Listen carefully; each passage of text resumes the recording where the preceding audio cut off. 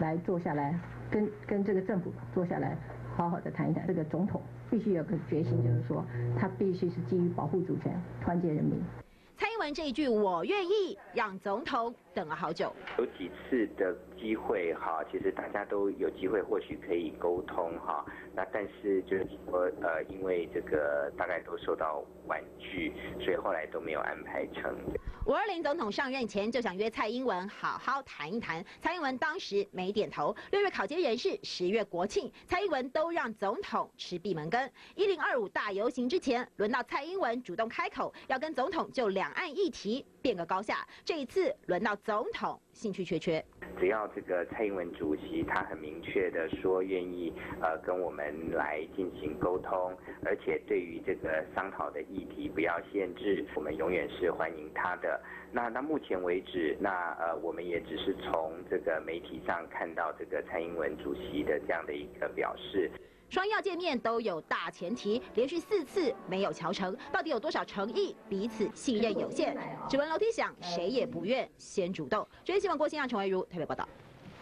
我不是否定，就是说学学生们集会游行的权利啊，但是但是现在的正当性如何，以及学学生好的这个范围啊，这比过大的，因为现在现在大学录取率百分之之百了，研究所的学研研究所的研究生的这人数啊，跟大学生一样多。那当年就在我们在从事，就说这个学生运动或者跑学生运动，说那时候野百合运动的时候，大学录取率百分之二十，现在是百分之百，差五倍。现在的研究生的数目大概是我那个时候啊，在跑学生运动的时候，我大概数十倍之多。好，那当然这是这是学学生有学生诉求，但是我还是强调，就是那些教授们，那些教授，因为大部分我都认识，跟我同一个世代，甚至有几位是我的同班同学。你们真的是从学从学生运动的学生，变成是现在的学运教授而已。政治立场其实可以充分的揭露，大家再来谈。来，一起怎么看？看到这些学生呢，在那边静坐。又下雨，天渐渐渐凉了。嗯，我第一个反应说，我女儿、我儿子有没有在里面？担心的要死，应该不太可能的。家教还不错哈。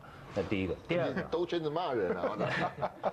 这个谁没有经过这个年少轻狂的年代？是啊。我希望你们哈回过头来，将来呢到我们这年龄，回头检视一下你当时的言行呐。嗯。啊，看看自己对不对啊？那个我有一个意见。嗯。当你呢面对谢香谢香川讲说你是不是人？嗯，这句话按你们的逻辑的时候，你们正当性就没有了。嗯哼。为什么？你对于那个警察执法，说你那个唱片行执法过度，所以说后面你受伤了，你活该。嗯，是这种理由吗？这种理由说不过去的哈。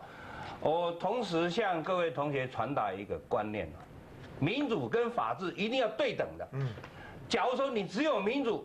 没有法治或者法治不足的话，你就变成暴民政治。嗯，你假如说只有法治或者是民主民主呢哈配套不够的话呢，那你变成专制。所以说这两个一定要平衡的哈。那对于集邮法的部分，呃，多少有一点点涉猎了哈。那个刑度，刚刚我不同意中信大哥所讲的除罪化。嗯，那个刑度很轻，两年以下。第一个，第二个，他的行政罚罚言呢，顶多是三万到十五万之间，不痛不痒的。我认为说。至于说所谓报备制、核准制呢，还可以容许讨论的地方。嗯，刚刚我也呃，刚刚那个辉文也讲了，禁制区、禁制区的部分一定要坚持。嗯，其他部分都可以讨论。嗯，但是我希望，为了要维护民主跟法治的一个平衡的地位，嗯，一定要加重其刑。两年以下不够。第一个，第二个呢，我希望加上赤头公权这个重刑。嗯，然后呢，让这个缉毒法呢，让大家就是说，你照着规矩走。不是说乖乖的，你可以达到你抗议的目的。你抗议目的是什么？让大家都知道，觉得大家都很不满。嗯。但是我们不希望有暴力，一暴力的话，你抗议的主题全部模糊掉。嗯。有话怎么看？过去哈，那我从五一九龙山市之界一直参加到去年的红三军，那我认为任何一个集会游行，这是宪法赋予人民的权利，我誓死捍卫。我不同意说限制集会游行，那我不同意啊。这个是宪法赋予人民的权利，这个核心价值我不去挑战它。嗯，但是呢，我挑战的是说，你的诉求那是什么？嗯，那第二个，好比说讲到禁制区，想想看，当年光华寮事件，我们在那个日本，我们到到中国大使馆前面去抗议，日本警察告诉我们，距离三百五十公尺。嗯，你只要超过三百五十公尺，他就打，绝对好看。哎，他就让你好看。就是说，他说你们的诉求我们尊重，但是我们国家的法律你要遵守，嗯，所以三百五十公尺，所以那个叫做禁制区，不是我们集邮法，他们大概学生把那个集邮法的禁制区的什么总统、副总统官邸啊等等那些，好，通通都搞混了。但是从五一九的龙山寺之夜到施明德的红衫军，请问哪一次街头运动不是诉求明确？嗯，况且他诉求的层次非常高，万年国会改选，嗯，那。然后，因为野百合召开了国事会议，是去化解两党的冲突，然后总统直选等这样子下来，嗯，那我觉得现在的学生，你们可以静坐，但是你要为你们的行为负责。然而，像包含蔡英文、王啊、王淑慧跟这些教授，其实你们错了。